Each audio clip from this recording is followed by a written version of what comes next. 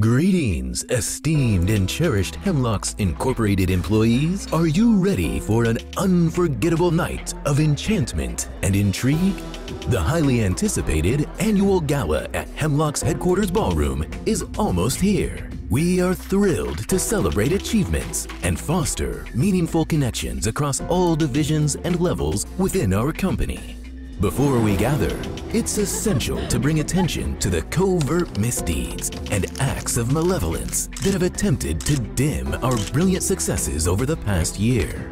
These acts of wrongdoing have sometimes muddled the distinction between ally and adversary within our hallways.